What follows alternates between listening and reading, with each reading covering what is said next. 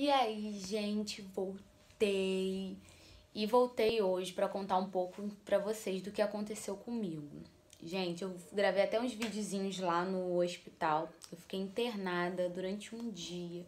Eu tive uma arritmia cardíaca, coração batendo de um lado diferente do outro. Foi o que o médico explicou para mim.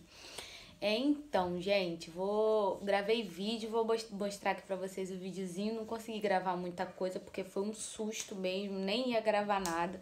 Aí eu gravei um takezinho lá pra vocês verem é, mais ou menos.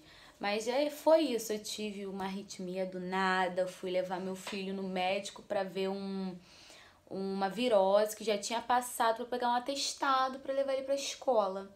Porém, é, eu tava sentindo desde umas 9, 10 horas da manhã é, um aperto no peito, senti o coração acelerar e quando acelerava dava uma apertada assim no peito. Aí quando foi mais ou menos a hora do almoço, esse aperto que dava já me dificultava de respirar. Então eu fiquei bem preocupada. Aí eu fui levar o Levi lá e falei, moça, você pode me ver também? Aí eu expliquei o que eu tava sentindo. E elas foram correndo, me deram um papelzinho é, para eu poder fazer um eletrocardiograma. Fiz o eletrocardiograma assim rápido, né? Porque abriram um protocolo amarelo com uma certa urgência e eu já lá assim, tá bom, urgente, tá bom, tudo bem, fiquemos calmos, né? e eu lá com o Levi Fui sozinha fazer o, o exame com o Levi, fiz o exame.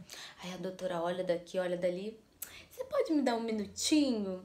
Aí eu, tá bom, não, tudo bem. E ela, não, nada demais, só vou perguntar um negócio ao médico. Aí eu já fiquei na minha cabeça, tem alguma coisa aí. Nesse caroço tem um gu. Nesse caroço tem um gu, nesse angu tem caroço. Aí eu fiquei meio assim, meio pá, né? Aí ela foi e voltou. Ela, olha, vamos ali no médico que a gente vai mostrar o eletro, ele vai te explicar direitinho. Aí eu fui com ela pro médico, entrei dentro da salinha do médico. Aí ele foi, olhou daqui, olhou, olhou dali. Aí ele, então, é, você me dá só um minutinho, não é nada demais não. Falou a mesma coisa dela. Não é nada demais não, é que tem uma pequena alteraçãozinha. E eu vou só pedir uma segunda opinião ali para um médico para ver se a gente repete o exame. Aí eu, tá bom, tudo bem. É para aguardar aqui? Ele, é, pode ficar aguardando aqui. Aí eu fiquei sentadinha lá, calma, fiquei calma, não me desesperei, gente, graças a Deus. Aí ele foi, levou lá pro médico, aí a médica que fez o meu exame, ela ficou me perguntando: "Você ficou respirando muito rápido ou prendeu a respiração na hora do na hora do na hora do exame, né, na hora do elétrico, tem que ficar bem quietinha". Eu não, fiquei quietinha, fiz nada não. Ela, você, você tá nervosa, você tá alguma coisa? Eu, não, gente, tá normal. Tá bom. Aí ela já tava me perguntando um monte de coisa. Eu, gente, aconteceu alguma coisa pra eles ficar me perguntando tudo isso. Aí, aí ela foi e falou assim: Ah, tem alguma coisa? Você se estressou durante o dia? Aconteceu alguma coisa? Você quer uma privacidade? Caso, caso você queira contar alguma coisa com mais privacidade, a gente pode ir para um outro lugar para contar se você aconteceu alguma coisa na sua casa com você, gente. Eles cismaram que eu sofri alguma violência doméstica. cismaram. Aí eu, não, gente, não não. fiquei assim, gente, eu tava meio preocupada, eu fiquei meio aérea. Mas cismaram. Aí o médico veio, me explicou que eu tava com uma arritmia cardíaca, meus batimentos estavam alto e eu precisaria ficar lá para tomar uma medicação. Eu falei assim, tá bom, então eu vou ligar pro meu marido, vou pedir para ele vir aqui ficar com o Levi para eu poder, né, ficar, acontecer tudo direitinho. Aí ele, tá bom, mas se você puder fazer isso com urgência, é bom, que a gente precisa te, te levar lá pra, pra ala vermelha lá agora. Aí eu, tá bom. Aí eu liguei pro Adriano, consegui ligar pro Adriano por muito custo. É, Adriano veio, pegou as crianças, eles já me botaram na cadeira de roda, não me deixaram levantar de jeito nenhum. Olha só, gente. E toda hora me perguntando: aconteceu alguma coisa? Você tá nervosa? Nananana. Aí eu, gente, não tô, gente, tô tranquilo, tá, aconteceu tudo normal. Só comecei a sentir a dorzinha agora de noite, né? Agora é a dorzinha de manhã e tá até agora, uma hora da tarde, me pouca, duas horas. Aí eles foram, Adriano mal chegou, minha filha, já me pegaram, já me levaram correndo pro, pro CTI lá, pra ala vermelha lá, CTI deles lá. E, gente, deitei na caminha, me encheram de aparelho e eu fiquei lá, não me deixavam levantar para fazer nada e colocaram um bendito de um remédio na minha veia, aqui, essa pontinha pretinha aqui, ainda tá até um pouco inchado ainda, Gente, colocaram o remédio, o remédio deu 20 minutos de remédio, mais ardia, mais doía, doía. E a minha mão ficava latejando, eu perguntando para as meninas se era normal, era normal, era do remédio, porque ele era meio ácido, parararará.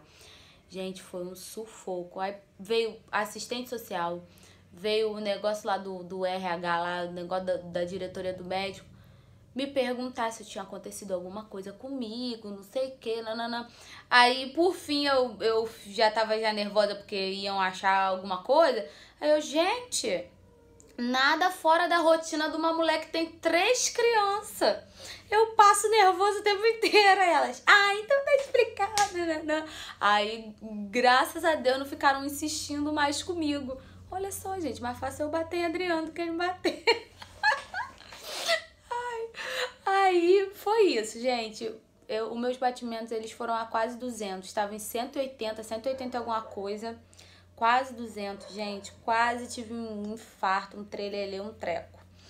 Aí eu fiquei lá, comecei a tomar esse medicamento umas 4 horas da tarde. Os batimentos só foram começar a baixar umas 2 horas da manhã, 3 horas da manhã. Gente, foi horrível. Porque ia lá em cima e voltava, ia lá em cima e voltava. E faleceu uma mulher do meu lado os batimentos altos também, a mulher deu piripaque, pum, foi, empacotou do meu lado. E eu, fica calma. E vai ter videozinho aqui então para vocês verem é, como é que foi lá. Eu consegui gravar pouca coisa, gente, não foi muita coisa. Mas foi só para relatar aqui para vocês que eu tô bem, graças a Deus.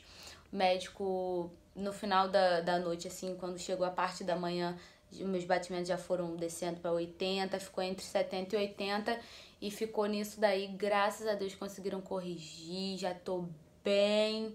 E é isso aí, agora a vida que segue, agora é só se cuidar, alimentação, não posso mais tomar muito café.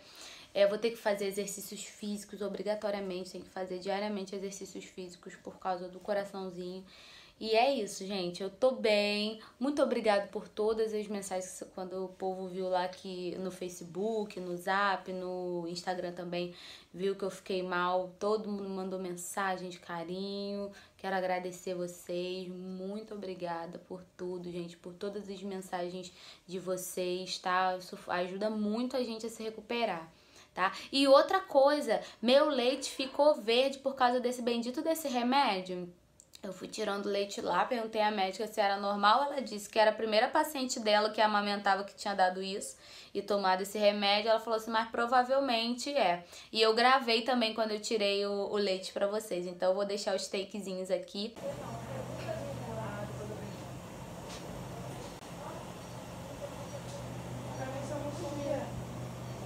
Eu tive é, arritmia cardíaca, não é isso? Arritmia cardíaca, meus batimentos foram a 180, tive um ataque cardíaco, que horror. Aí eu vim ser internada do nada, tô aqui já vai fazer 24 horas, mas tô bem, meus batimentos estavam a 180, 170, foi baixando durante a noite. Aí agora são duas e alguma coisinha, já tá 70, eita, bodega 92 aí vai para 70, vai para 80 e é isso aí. É o que eu tive e já já eu volto para casa, provavelmente agora na hora da visita às três eu já vou poder voltar para casa. Em nome de Jesus. Então um beijo. Tchau.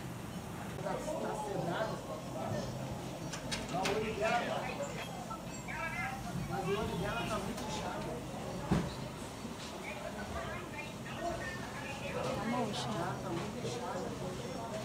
também não dormi direito não. Eu dormia de duas em duas horas. Olha como é que o leite tá meio esverdeado. Ele tava muito mais verde do que isso. Mas ainda tá, ó. Esverdeadão.